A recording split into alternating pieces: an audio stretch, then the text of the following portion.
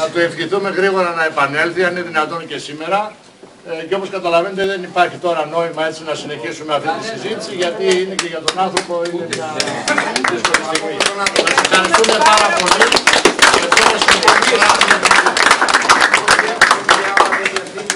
πολύ.